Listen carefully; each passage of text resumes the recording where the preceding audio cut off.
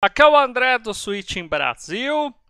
E a partir de agora eu vou deixar o áudio mais alto, porque tinha gente que estava reclamando que o áudio estava muito baixo. Então, se você percebeu que o som está muito mais alto que o normal, é por conta disso. Então, para todo mundo que falou, ah, o seu áudio está muito baixo, pronto, não está mais. É que eu diminuí o áudio por um seguinte motivo: nem todo mundo tem headset que controla o som. Então eu gostava de, mesmo que o seu som tivesse a 100%, o meu vídeo não ia gritar no seu ouvido e te deixar surdo. Então eu geralmente deixava para quem ouve o computador sempre em 100%, pudesse ver meus vídeos sem precisar alterar nada. Mas já que tem muita gente reclamando que o áudio está muito baixo, então agora eu vou estourar de vez e aí você mexe com, com o seu fone ou com o computador ou com o botãozinho do YouTube.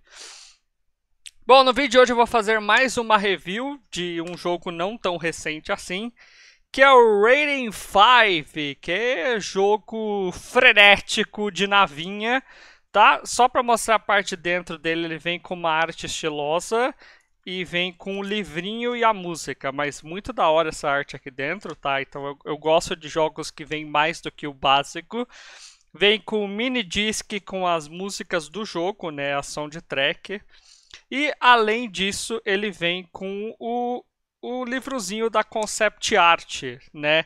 Aí tem as navezinhas, tem os monstrinhos, tem as cidades. Então, assim, bem legal que vem com esse livrezinho aí de concept art. É tão difícil, né, no Switch a gente ver empresas que de fato trazem esse tipo de conteúdo adicional para as caixinhas.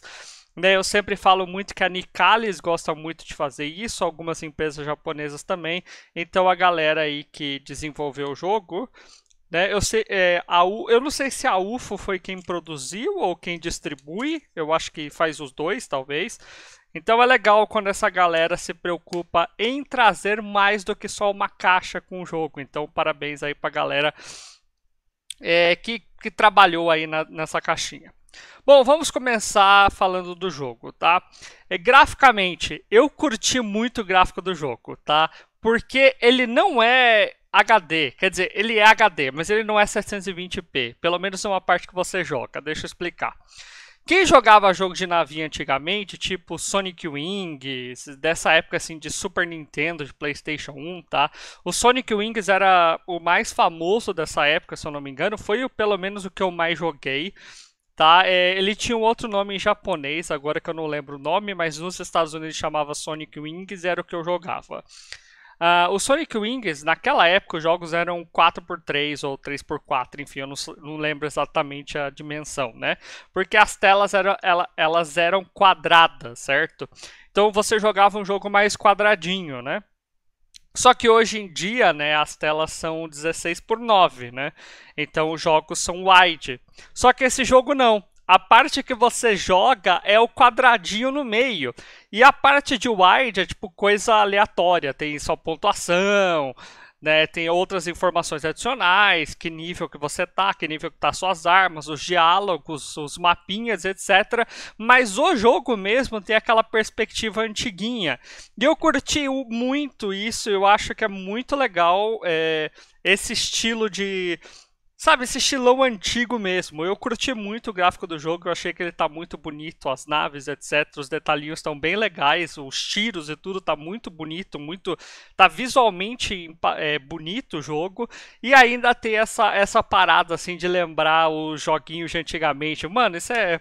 Parabéns, parabéns, eu curti muito. A história, o jogo tem uma história totalmente narrada em áudio e etc. A galera contando a história do jogo, das invasões. Então isso é maneiro, tá? O jogo Além de ter toda a parte escrita, ele também se narra, então eu gosto desse tipo de coisa. É, no meu não tinha nada em português, só tava, tava tudo em inglês mesmo. Mas eu curti, eu curti que tem os áudios bonitinho, a galera falando, comentando os acontecimentos e falando com você. Então é maneiro isso. E o jogo tem uma história interessante para quem gosta de ET, né? Se você gosta de alienígenas e pá, até o nome da empresa, né? UFO. UFO nada mais é que objeto voador não identificado na sigla em inglês, né? Mas é, é muito legal a storyline e você tem que defender o planeta Terra, porque, enfim, né? Jogos geralmente são assim. A jogabilidade. Mano, esse jogo lembra muito jogos de antigamente, né? Você pegar as bombinhas com os monstros especiais ou antes de derrotar o boss. Ah, você tem várias naves. Várias não, né? Tem algumas naves e alguns, algumas modificações que você pode fazer com tiro. Tem, nada com, tem nave com mais vida, nave mais rápida e etc. Ah, uma coisa se você jogar no modo normal, porque o jogo tem super easy, easy, normal, hard very hard. Se você jogar no normal, você tem continuo infinito. Então se você é aquele tipo de pessoa como eu, que está muito desacostumado e quer tipo, simplesmente jogar o jogo para ver a história, você não precisa se preocupar em ter que zerar sem tomar tiro, por exemplo. Como era antigamente, né? Antigamente você tava jogando lá, pá, morreu, pronto, tem que voltar do começo. Aí você ficava bom que você decorava tudo do jogo, a posição do tiro você tinha que decorar. Esse aí não, se você quiser jogar uma. Se você quiser jogar light, é só se divertir e curtir na história, mano, você joga no easy, no super easy, no normal e etc. Você não tem que se preocupar. Mas se você quiser tryhardar, também tem o super hard. Aí, mano, vai de cada um. Eu tava jogando no normal, morri pra cacete, até porque. É, eu não conheço essa série, como eu falei, acho que os últimos jogos desse estilão mesmo foi lá na época do Sonic Wings, tá? Eu, eu jogo outros jogos parecidos, né? Eu já até trouxe review aqui de outros jogos desse Bullet Hell no canal. Mas a maior parte deles tem alguma, tem alguma coisa mais nova, tem maneiras de dar especial, você pode desviar dos ataques e por aí. Esse aqui não, meu amigo. Esse aqui é só de um lado pro outro, não tem tiro especial. Quer dizer, vai, você pode trocar de tiro, mas assim, não tem habilidades, tem a bomba, né, que é famoso, etc.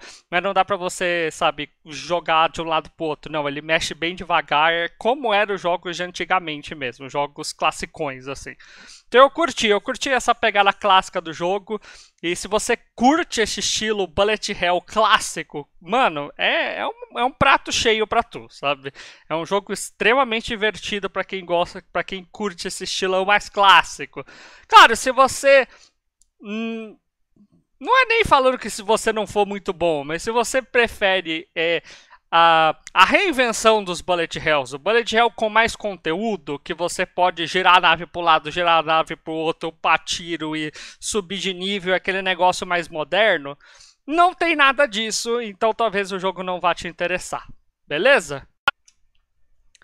Quanto é que tá custando esse jogo nostálgico? Eu peço desculpa que eu tive que dar um corte porque as ambulâncias não param de passar aqui perto de casa, é incrível.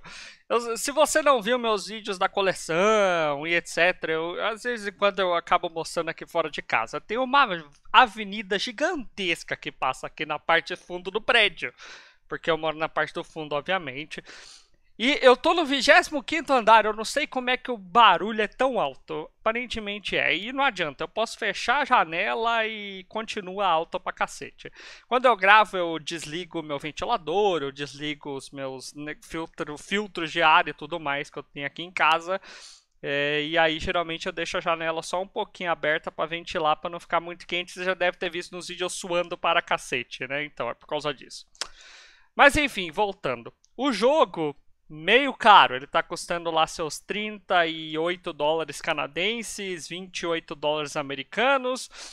E mas enfim, na nota custo-benefício eu vou explicar porque que eu estou achando ele meio caro, né? Porque ele é um jogo classicão, é divertido, não é muito longo e enfim, né? É meio puxado para essa categoria de jogo. Bom, vamos lá. Qual que é a minha nota do jogo? Pô, eu achei o jogo fantástico. É uma, é um, é uma viagem para minha infância, o estilo de jogo, sabe? O, é tão clássico, né? Porque eu, eu costumava jogar esses jogos quando era criança, que era um dos poucos jogos que eu tinha lá na época do, do Super Nintendo, do PlayStation, etc. Eu gostava de jogar Sonic Wings. Um, então, assim, me lembra bastante essa, essa época da minha infância ali, lá dos 8 anos e tal. Ah, então é nostálgico. E como um jogo nostálgico, como o que ele se propõe a fazer, ele é perfeitinho, entendeu? Ele tem as bombinhas, tem os diferentes tipos de tiro e etc. Mano, lembra a infância. Com exceção do fato de você não morrer em um hit, né? Que você pelo menos tem um pouquinho de vida. Né? Lá nos outros você tomava um tiro, pá, morreu, já era, né? Então assim, eu curti, eu acho que ele faz o trabalho dele muito bem. Então, para mim, ele merece o famoso 8, tá? É, só para explicar um pouco da minha nota, que eu vi que no meu vídeo de a galera tava reclamando, é o seguinte, a minha nota funciona assim. Um 9-10 é aquele jogo que vai além, entendeu? Vamos pegar, por exemplo, Fire Emblem Three Houses. Ele é um jogo tático, mas, se você pega o Fire Emblem, a série Fire Emblem é um jogo tático. Você pega o Three Houses, além de ser um jogo tático, ele tem parte de RPG, interação com personagens, histórias individuais, um lugar para lá para você ficar treinando, você é professor, você tem escolha de casa e rotas diferentes. Então, assim, além de ele ser um excelente jogo tático, ele tem um monte de coisa adicional para você aproveitar. Então, por isso ele é um jogo tipo nota 10, ele vai além. Um Zelda, por exemplo, eu sei que a galera, eu, eu, eu sei que a galera me zoa por achar Stays Gate tão bom, mas Stays Gate é um bom exemplo disso. Por quê? Porque além dele ser um visual novel, ele, tem, ele, ele fez todo o jogo completamente animado. Então ele tá um jogo. Ele virou um anime. Então, assim, ele foi muito além do que um visual novel. Ele é um visual novel e um anime junto. Entendeu? O Zelda, que é um jogo impecável, porque além de ele ser um Zelda, você está no mundo aberto, ele foi além do Zelda. Você pega o Mario mesmo, o, o, o novo jogo do Mario, o Odyssey. Além dele ser um jogo de plataforma, você tem todas as mecânicas novas, você tem muita coisa para fazer, os mundos para explorar. Então, ele foi além do jogo do Mario. Isso para mim são jogos que vão estar tá lá pelas notas 9 e 10. É o jogo que vai além do que você imagina, tipo Splatoon. É, Splatoon mais ou menos, né? Splatoon acho que não não foi tão além assim até lançarem as expansões. Aí sim, as expansões foram além mesmo. Então assim, isso é 9 para 10, sabe? Acima de 8 é o jogo que vai além do que você imagina. Ou a nota custo-benefício, é um jogo que está valendo muito a pena pelo preço. Um jogo nota 8 é aquilo que entrega o que você espera. Então, esse aqui é um jogo clássico. Ele entrega um jogo clássico bom, ele é divertido. Ele não vai além disso, não tem nada de especial. Então, ele faz o que ele está proposto a fazer bem. Então, por isso ele recebe 8. Porém, contudo, todavia, ele tá caro. E aí a nota custo-benefício tem que ser diminuída, porque ele é um jogo muito nichado, muito curto para estar tá custando quase 30 conto. Ele tem que ser joguinho de 15 dólares, 20 dólares, 10 dólares, 20 eu já acho exagero, mas entre 10 e 15 dólares, não entre 25 e 30 dólares, entendeu? Por conta disso, a nota custo-benefício dele será 6, tá? Porque ele tá meio caro mesmo, tá bem caro, na verdade, pelo que ele é, entendeu? Ele não tá tão incrível assim e não tem tantas horas de gameplay assim para estar tá custando esse preço. Também não tem muita variedade, eu queria mais nave, mais tipo de tiro e etc. Ele é meio limitado nesse aspecto. Uh, vale a pena conhecer o Raiden 5, é claro que essa é edição Director's Cut, mas enfim, mais uma vez, no Switch ele tá mais carinho. Então, assim, se você quiser conhecer, dá uma olhada nas outras plataformas, Steam, PS4, Xbox One, eu não sei onde ele tá vendendo, mas eu sei que no Switch ele tá mais carinho, tá? Porque no PlayStation 4 ele tava custando 20 dólares ou 18 dólares por aí, ou seja, 10 dólares a menos. Então, se você quiser conhecer, dá uma olhada nas outras plataformas. No Switch eu só compraria em promoção, tá? Ah, tá numa promoção e pá, beleza. Preço normal, acho que não vale, não, não chega a valer isso tudo ainda. Mas promoção, se você curte o estilo de jogo, por que não, né? É uma opção. Então é isso aí, galera. Se você gostou desse vídeo, deixa seu like. Se você não é inscrito no canal, se inscreva. E a gente se vê no próximo vídeo em breve. Valeu, falou, um abraço, até a próxima e fui!